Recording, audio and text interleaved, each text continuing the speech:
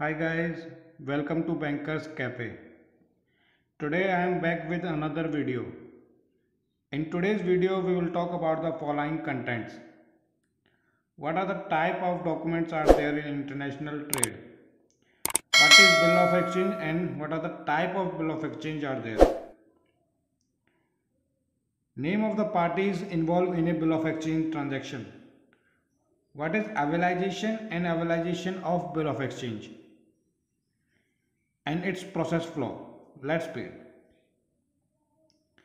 Basically, there are two type of document are there: financial document and commercial documents.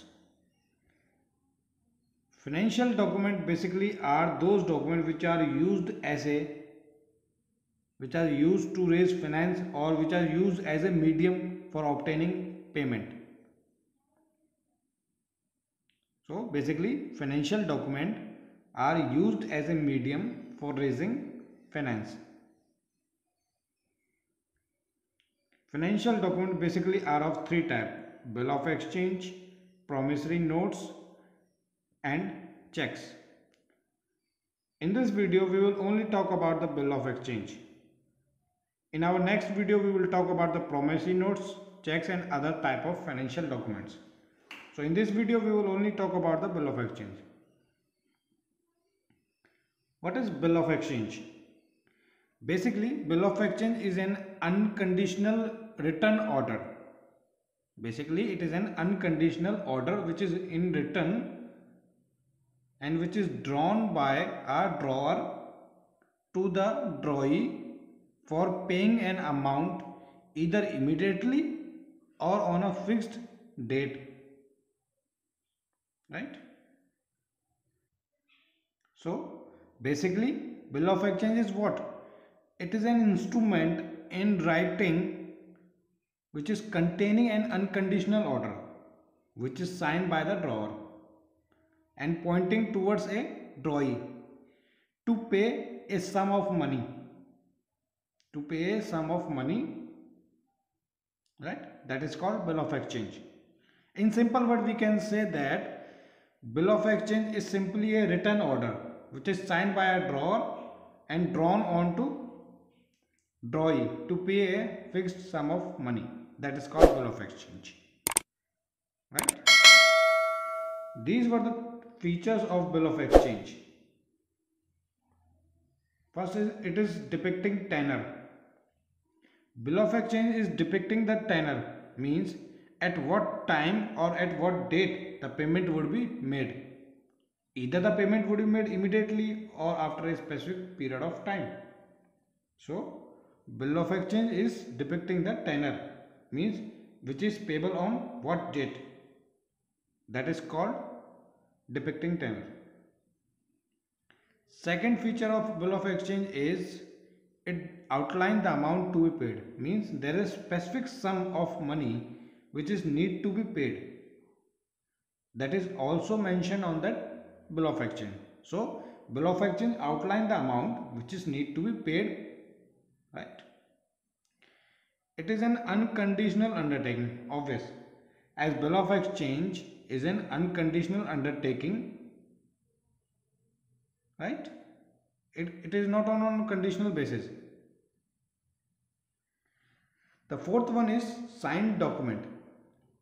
Bill of exchange is a uh, instrument basically which is signed by the drawer and accepted by the drawee. So basically it is a signed document. Now it is a as we know that bill of exchange is a financial document which is used to raise a finance or which is used as a medium for obtaining the payment. So it is a source of financial document. Bill of exchange is in written order means it is always in a written form. It can't be in verbal or it can't be can't be in oral right? It should be always in a written order. Negotiable instrument. What is this negotiable instrument is? Negotiable stands for means it can be transferred to anyone. Means it can be transferred negotiable stand for transferable. Bill of exchange promissory note are negotiable instrument which can be transferred further. Right? And the last feature of bill of exchange is depicting the party details. Bill of exchange contains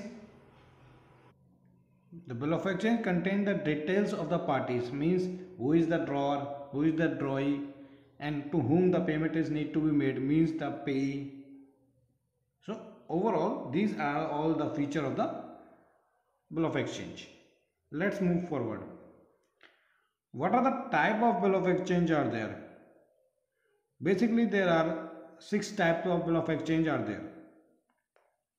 The side bill of exchange the usance bill of exchange the inland bill of exchange the foreign bill of exchange accommodation bills and the trade bills we will discuss all these in details the inland bill of exchange is basically that bill of exchange where the, mm, the bill drawn between the two parties residing in the same country and also it is payable in that same country only. Means here the drawer and the drawee are resides in a same country.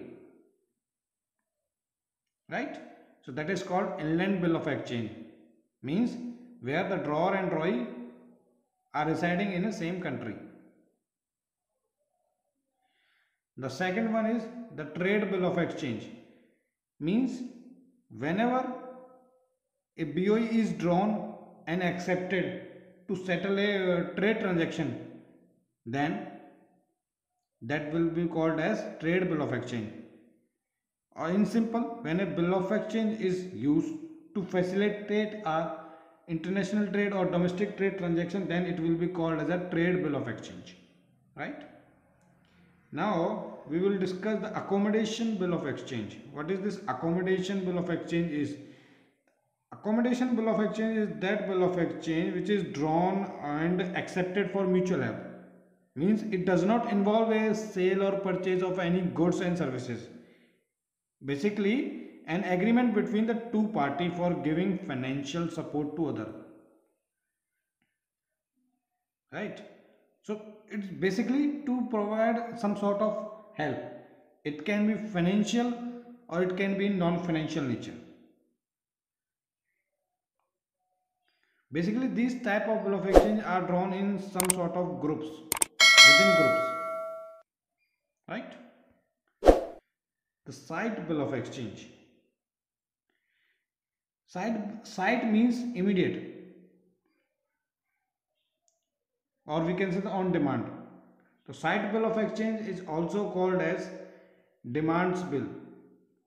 Means whenever the document are presented at the drawee bank counter then the payment should be made on immediate basis whenever it is presented at the counter. That is called side bill of exchange. Or in simple we can say that uh, it is it is payable on demand or whenever it is presented on the sight or at the sight the bill has no particular mentioned due date or time for the payment. So the debtor can make the bill payment whenever it is presented. So whenever the bill is presented it has to make the payment. That is called sight. Now we will talk about the usance bill of exchange usance bill of exchange is also called as term. these bills are paid on a specified future date. Or we can say the usance bill is just opposite of side bill. Whereas in side bill the payment is need to be made on immediate basis whenever it is presented at the sight. But in usance bill the payment is does not make on an immediate basis. Here the payment will be made on a future date. That future date that fixed date is determined basis on the tenor. What's the tenor of payment in that international trade transaction right?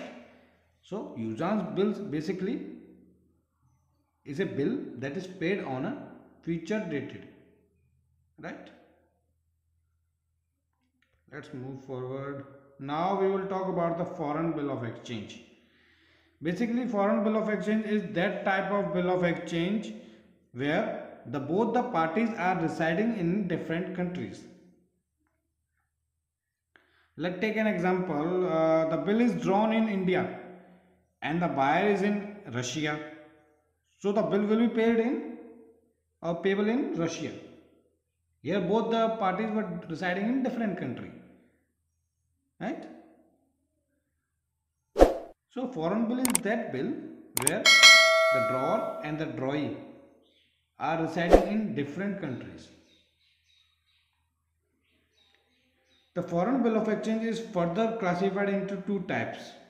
The import bill of exchange and the export bill of exchange. What is this import bill of exchange and export bill of exchange? Uh, basically in import bill of exchange the bill is drawn by the exporter of some another country and it is drawn for an importer of our country means whenever a exporter of some another country drawn a bill on importer of our country then that bill of exchange will be called as import bill of exchange. Right? So export bill of exchange is that bill of exchange wherever the bill is drawn by our country's exporter. Means in simple word the export bill of exchange is that bill of exchange where the bill is drawn by our country's exporter for the importer of some other country. So that is called export bill of exchange. Right? Now we will talk about the parties involved in a bill of exchange. Basically there are three type of parties in, involved in a basic bill of exchange transaction that is payee, drawer and the drawee. We will talk about all these three parties in detail. Drawer. The one who draws the bill of exchange or we can say the one who issue the bill of exchange is known as the drawer. Drawer basically is an exporter or we can say the seller, bearer, creditor. These were the multiple names of drawer. So drawer is basically whom? Drawer is basically a seller who issue the bill of exchange or who draw the bill of exchange to the drawee. Right? Now who is drawee? Basically drawee is that person to whom the bill of exchange is drawn. Right? When the drawer issue the bill of exchange then obviously it has issued to someone. Then the drawee is that person to whom that bill of exchange is drawn right There are multiple names of drawee are there. Drawee can also be called as acceptor because it has to accept that bill. Once it has, it has accepted the bill, then it will be called as acceptor. Payer, when it has paid the bill, then it will be called the payer. And the debtor, right? So these were the multiple name of drawee too. In the end, the, the last party involved in a bill of exchange transaction is the payee Basically, the payee is the person to whom the payment is will be made or yet to be made. Or basically, a person to whom the amount of bill of exchange is to be paid. The payee can be a drawer himself or the creditor of the drawer. Right? Drawer and payee are the same entity until and unless drawer transfer the bill of exchange to third party. Right? If the drawer has transferred that bill of exchange to some another party right? If the drawer has transferred that bill of exchange to third party right? Then third party will be called as payee. Else the payee and the drawer are same always now we will talk about the avalization process. What is this avalization is actually? Basically avalization is avalization basically uh, that where uh, a third party adds its unconditional payment confirmation. Means whenever a third party adds its own confirmation wherein it confirm to make the payment on a future date or on a maturity date. So whenever this sort of confirmation or this sort of guarantee to honor of payment is provided by a third party, that third party will be a bank only or a some sort of financial institution, right? Or in simple word, we can say that the whenever a payment guarantee or a bank guarantee is provided by a drawee bank to honor a payment on maturity date. Then such guarantee is called as avalization you see basically it's a payment guarantee provided by a drawee bank provided by a drawee bank to pay on maturity date then that guarantee is called as avalization The bank who execute that avalization is called as avalization bank. Please correct it as it is I have mentioned it here as avalization. It is as avalizing bank. The bank who's executing this avalization process that is will be called as avalizing bank, right? So basically avalization is what? It is a bank guarantee to honor payment or it's a promise to make a payment on a due or maturity date. Right? So this sort of guarantee is provided by Drawee Bank. Now we will talk about the avalization of bill of exchange. Whenever the Drawee Bank provides the guarantee or pro uh, promise to pay on maturity date against the bill of exchange. Then that process will be called as avalization of bill of exchange. Whenever that guarantee is provided against the bill of exchange then that whole process will be called as avalization of bill of exchange. I can mention as avalization of bill of exchange as a payment guarantee by a third party. That is generally a, by, a, by a bank against a bill of exchange drawn on drawee. Right? So it is basically what? It is an irrevocable undertake uh, uh, uh, it is an irrevocable unconditional payment guarantee which is provided by a drawee's bank on behalf of drawee right? So where bank guarantees to honor payment against bill of exchange on due date right? Whenever the drawee whenever the drawee banks provide a guarantee on behalf of the drawee then that guarantee is to make the payment on a due date against the bill of exchange drawn on the drawee. Then that guarantee is called as avalization of bill of exchange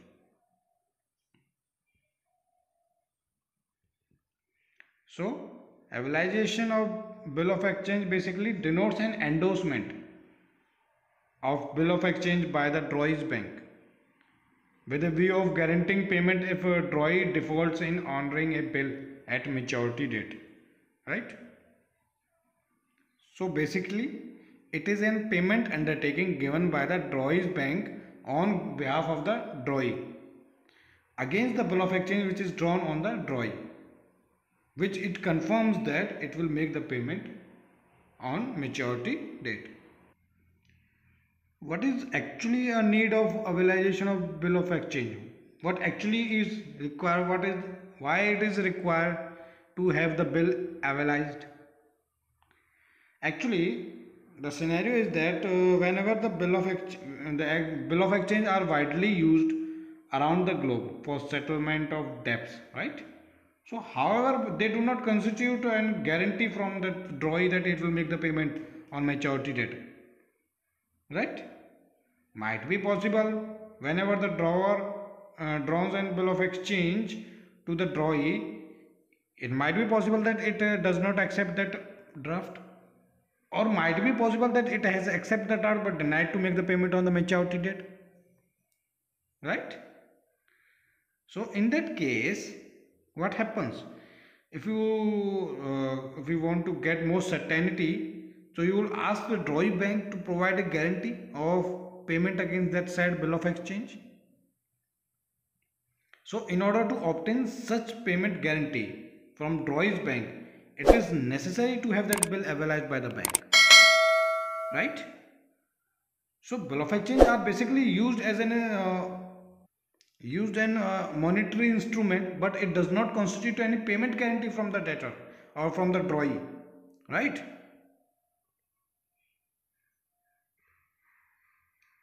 So whenever the drawer needs in such sort of payment guarantee then it has to get the bill avalized by the drawee bank.